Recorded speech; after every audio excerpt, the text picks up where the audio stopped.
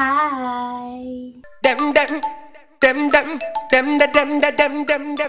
Salut tout le monde, j'espère que vous allez bien. Aujourd'hui, on se retrouve pour une nouvelle story time comme vous aimez tant. Et aujourd'hui, le titre de cette vidéo sera ma virginité en échange du mariage.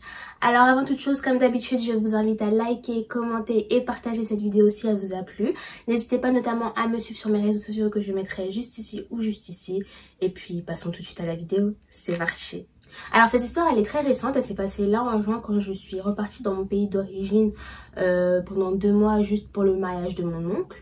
Voilà, euh, j'avais vraiment hâte d'y aller parce qu'au moins j'allais retrouver, euh, retrouver ma soeur, ma famille, etc.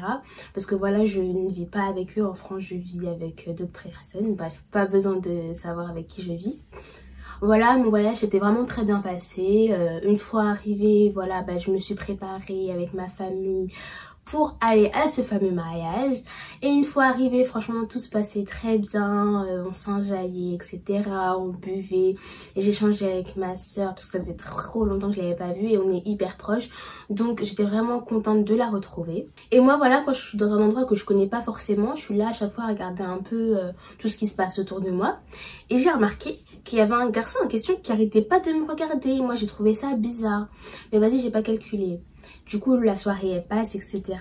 Et cette personne en question continue à me fixer. Et du coup, j'en ai fait part également à ma soeur. Je lui disais, mais euh, enfin, il fait que me regarder. Enfin, c'est quoi le souci? Je comprends pas et tout.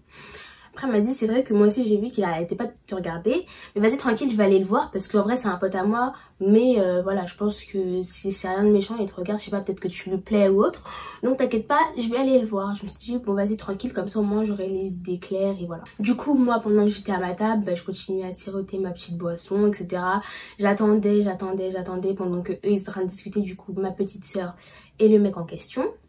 Après, je la vois revenir elle revient et tout, elle me dit non mais tu sais pas et tout, je lui dis qu'est-ce qu'il y a?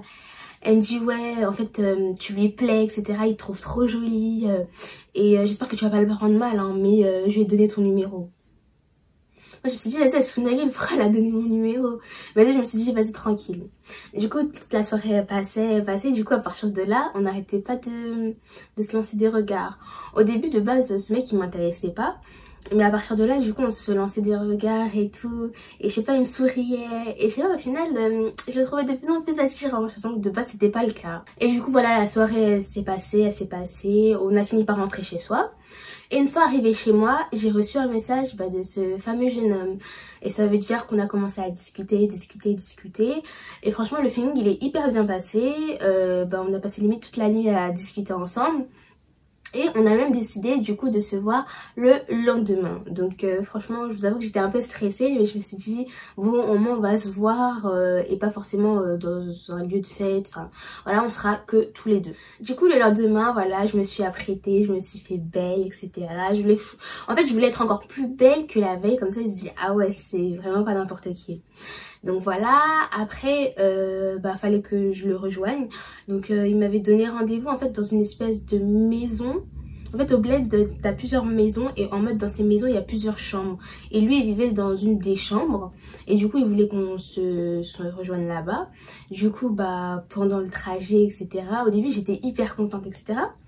Mais en fait plus j'approchais du lieu et puis je commençais à stresser et puis je sais pas si j'avais comme un pressentiment je me disais, je sais pas, j'ai l'impression qu'il allait avoir une couille ou je sais pas, je me sentais pas bien. Genre, euh, je même pas comment vous expliquer, mais je me sentais pas bien. Et pour le coup, carrément, euh, je sentais que ça allait être la fin pour moi. Euh, franchement, je sais pas pourquoi j'avais cette impression, mais bref, j'ai continué à y aller.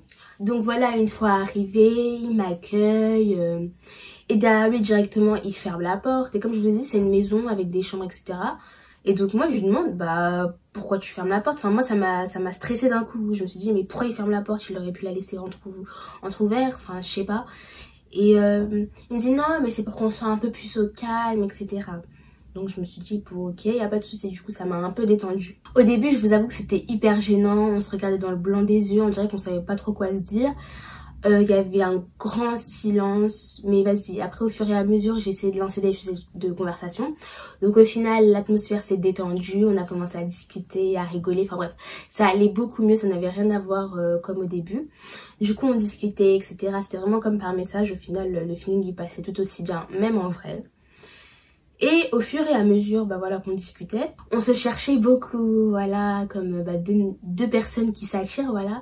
Donc on a fini par s'embrasser et franchement pour moi c'était waouh. Quand je dis waouh, carrément j'ai eu des papillons dans le ventre, genre j'ai jamais ressenti ça avant.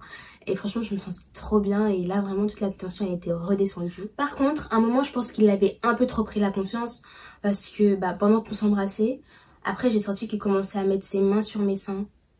Et là en fait j'ai pris peur. Et je lui ai dit clairement, enfin je l'ai poussé, je lui ai fait oh qu'est-ce que tu fais là? Il s'est excusé et tout. Et du coup, euh, bah, il a arrêté un moment. Et puis je vois, il recommence encore.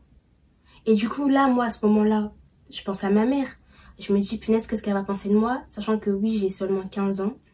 J'ai 15 ans, le mec, il a 17 ans. Je me retrouve dans une chambre, elle sait même pas que je suis là. Au final, je suis là, euh, j'embrasse un mec que je connais à peine au final. Et là, il commence à me toucher les seins. Je me suis dit, qu'est-ce que ma mère va penser de moi? Donc moi, tellement que j'ai paniqué, je l'ai poussé une, fois de plus. Et ensuite, je l'ai giflé. Et en fait, là, ça a été gênant parce que il est resté comme ça. Genre, il savait pas quoi faire, ça se voyait. En fait, je pense qu'il s'y attendait pas. Et moi, j'étais là, euh, voilà, enfin, je sais pas, il y a eu il y a une grosse gêne. Il était là seulement à se tenir la joue, euh, il était comme ça, il s'est dit mais c'est pas possible, genre là je viens de me faire gifler par une meuf, enfin je pense qu'il s'est dit ça dans sa tête. Et du coup moi ce que j'ai fait c'est que j'ai remballé mes affaires et je suis rentrée chez moi. Du coup voilà, la soirée passe, etc. Et euh, bah, le lendemain matin, fallait que je sorte pour aller faire des courses. Et devinez qui je croise? Ce fameux jeune homme. Au final, euh, parce qu'en fait, il habitait même pas à deux rues de chez moi, donc euh, c'était très probable qu'on se croise.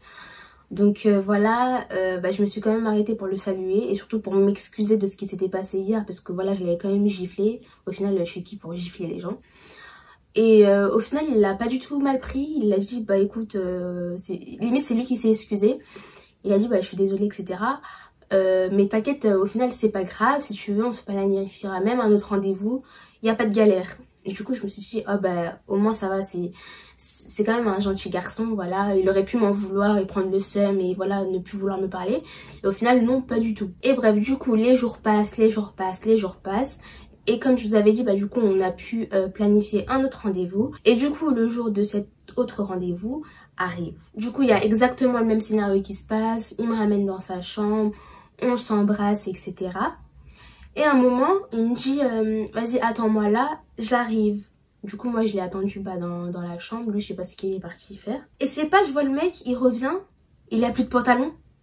Carrément, je me suis dit Attends, attends, attends. En fait, sur le coup, en fait, j'étais stressée. Mais en même temps, en fait, j'ai pas compris ma réaction moi-même. Parce qu'en fait, je me suis mise à rigoler. Genre, j'ai été prise d'un fou rire. Je me suis dit, il se passe quoi là? Et oh, j'ai 15 ans, je me retrouve dans une chambre il y a, mon mec de 17 ans qui arrive comme ça euh, sans pantalon. Moi, j'avais pas signé pour ça. Genre, je me suis dit, euh, voilà quoi. Et en fait, j'ai été prise d'un fou rire. Et en fait, je pense que c'était juste un rire hyper nerveux. Du coup, il vient vers moi, etc. Toujours sans son pantalon. Le mec, il me pousse sur le lit. Et en fait, il commence à avoir des gestes hyper brusques avec moi. Genre, euh, il commence à vouloir me tenir les bras, à être hyper, voilà, enfin, rien à voir avec la douceur qu'il avait avant. Donc, j'ai pas compris. Et moi, du coup, je me suis, enfin, j'ai commencé à paniquer. Je lui ai dit, vas-y, lâche-moi, lâche-moi. Enfin, qu'est-ce que tu fais, quoi? Et je voyais continuer, continuer, continuer. Et du coup, j'ai commencé à crier pour le supplier d'arrêter. Il voulait pas. Euh, J'essayais de me débattre comme je pouvais. Mais en même temps, le mec en face de moi, il a 17 ans. Il est beaucoup plus costaud que moi. Moi, je suis là avec mon petit corps de 15 ans. Enfin, au bout d'un moment, euh, j'avais beau faire ce que je pouvais, mais je pouvais pas trop me sortir de là. En plus, là où on était, bah les gens ne pouvaient pas forcément nous entendre, donc même si je criais, ça ne servait absolument à rien. Et là, du coup, au bout d'un moment, il me relâche. Il me dit, mais pourquoi tu réagis comme ça? T'es vierge? Je lui dis, bah oui, j'ai que 15 ans et je compte encore le rester jusqu'au mariage en fait. Et c'est comme ça et pas autrement. Et il me dit, mais au final, si c'est moi qui te marie, au final, c'est la même chose. Et je me dis, en une seule phrase, le mec, il a réussi à me retourner le cerveau. Et moi, j'étais là en mode, bah, c'est quand même un mec que je kiffe et tout. Euh, ces occasions, ça va pas se présenter 15 000 fois. Enfin, en fait, je crois que j'étais dans ma Matrix. Enfin, je sais pas. Je pense que c'est mon âme d'enfant qui a, qui, a, qui a réagi parce que je me suis dit, ah bon, bah, il m'a dit que hum, il allait, enfin, que qu'il allait me marier. Donc, pourquoi pas? Donc, clairement, en fait, euh, je me suis donnée à lui, voilà. Et je vous assure qu'en fait, au moment même, j'ai regretté, j'avais envie de me frapper tellement. En fait, je me suis sentie bête, je me suis sentie sale, je me suis sentie tout ce que vous voulez. Et j'ai, en fait, j'ai regretté ce que j'ai fait. Je me suis dit au final pourquoi j'ai fait ça? Donc au final, bah, ce qui s'est passé, c'est passé. Euh, on a continué notre petite journée. Après au final, voilà, je suis rentrée chez moi. Euh, j'ai fini mes vacances, euh, etc. Au final, j'ai fini par rentrer du coup en France. Aujourd'hui, je suis toujours avec lui. Voilà, mais vas-y, lui, il habite au pays et moi, j'habite en France. Donc, c'est compliqué de se voir. Mais notre relation continue. Aujourd'hui, voilà, ça fait six mois qu'on est ensemble. Et il est quand même resté sur euh, sa décision du fait qu'il veut me marier. Donc, euh, enfin, moi, je pars du principe que, enfin, je pense pas que ce soit des paroles en l'air. Donc, voilà. Et dans tous les cas, hein, je lui ai toujours dit, et puis je le pense vraiment, que il a intérêt de tenir sa promesse. Parce que j'ai quand même donné ma virginité parce que il m'a promis qu'il allait me marier. Donc clairement, s'il ne le fait pas, moi je sais où il habite, je connais sa mère. Donc moi, je débarque chez lui. S'il finit par faire des trucs bizarres à dire non. Et je vais raconter tout à sa mère de A à Z. Ce qu'il m'a fait, la promesse qu'il m'a faite. Tout de A à Z. Donc si, au, si à mon plus grand malheur, il finit par finalement euh, dire oui, non, je veux pas te marier. J'ai juré qu'il va m'entendre. Clairement, qu'il le veuille ou non, on va se marier. Et bien entendu, euh, mes parents ne sont pas au courant de cette histoire.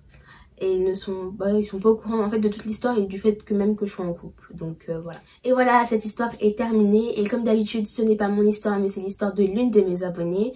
Voilà, donc si toi aussi tu souhaites me raconter ton histoire, n'hésite pas à venir me DM sur Insta ou même sur Snap ou même par mail si tu souhaites m'écrire. Voilà, et je me ferai un plaisir de la raconter en anonyme, bien entendu. Et du coup, bah, passons à la partie conseil. Donc voilà, franchement, de toute façon, à cette fille, euh, c'est déjà ce que je pense de, de la situation, de ce qui a pu se passer. Euh, franchement, je pense que fallait pas qu'elle donne sa confiance aussi rapidement parce que c'est bien beau de dire des paroles comme ça. Mais au final, qui dit qu'il va vraiment la marier? Voilà, ils sont encore hyper jeunes.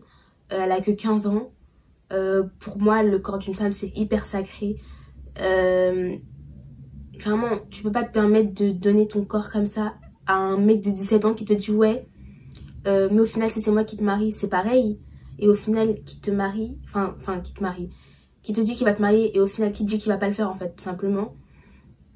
Et euh, enfin, moi je trouve que c'est un gros risque qu'elle a pris. Et de toute façon, la preuve, elle-même, elle a dit qu'elle l'a regretté juste après.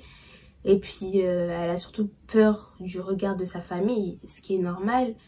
Mais franchement, à l'avenir, faudrait pas donner sa confiance comme ça. Faudrait pas croire directement aux paroles d'un mec comme ça, sorti de je ne sais où. Voilà, euh, s'il vous plaît, protégez votre corps. Ne, donnez pas à n'importe qui. Le corps d'une femme est très sacré. En tout cas, j'espère que leur relation, elle va aller très loin et qu'ils finiront par se marier parce que franchement, ce serait très dommage sinon. voilà, la vidéo est vraiment terminée. Donc on se dit à la prochaine pour une nouvelle vidéo. Tchuss